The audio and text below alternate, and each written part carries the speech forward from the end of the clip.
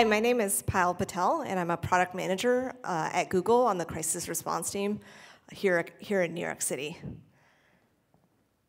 How many of you recognize this screen behind me? Okay, most of you. Um, this is the emergency broadcast system, originating in the 1960s that used traditional media, such as television and radio, to get critical messages out to the affected public. Now, fast forward to 2012, and there are now wireless emergency alerts, which you might also recognize receiving on your phone. These are geographically targeted text-like alerts that are sent to the affected public, uh, uh, to, to mobile users. Now, while these are very effective at letting people know when they're in danger, they have their limitations in providing details about the uh, emergency situation or actionable content.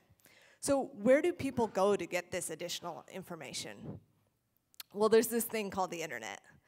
Um, so let's take a look at what the internet does look like. Um, traditional search results two years ago. Let's say you're in central Tennessee, you hear a siren go off, you think it might be a tornado, so you search, is there a tornado in Dowelltown, Tennessee?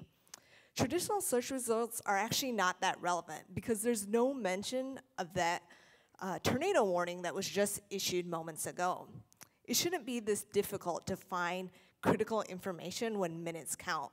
And this is the problem that our team set out to solve. Uh, we did this by building an emergency broadcasting platform for the internet called Public Alerts, where we take authoritative uh, emergency warnings, such as this tornado warning, and surface it on everyday online tools. So a big component in building this platform was actually getting the official content. So how did we do this in a scalable way? Every alerting authority has their own means of disseminating their emergency information. Some have a website with the latest information, some have a Twitter feed, some have no online presence at all. So how did we go about doing this in a scalable way? Well, it would be much easier if all these alerting authorities use some type of standard to get their messages out. There is such a standard for alerts, and it's called the Common Alerting Protocol, CAP. CAP was developed by, in consultation of 100 emergency managers nearly a, a decade ago. So to show you what uh, the importance of, of this standard is, here, here's an alert in this raw text format. It's a tsunami warning. And those of you that can read Bahasa Indonesian can see that this has really rich content, useful information about the uh, upcoming threat. Now here's the same alert in CAP format. CAP is an XML spec that allows the alerting content to be standardized in a flexible way using uh, dimensions such as language, event type, and severity. We've worked with over 18 different alert alerting authorities around the world to onboard their critical information through this standard. And this is just the beginning. So now nearly a decade since the devastating tsunami in the Indian Ocean, how do people get information online? Well, if you're in northern Sumatra, Indonesia, and you have the Google search app installed on your Android or iOS device, your phone will buzz to let you know that there's a tsunami warning in effect.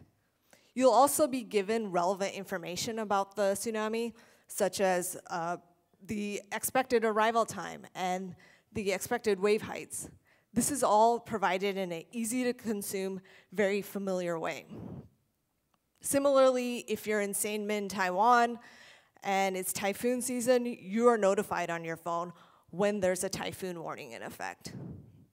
Or let's say you're in Timbiqui, Colombia during rainy season and you want to know, you want to check if your house is going to be affected by a landslide.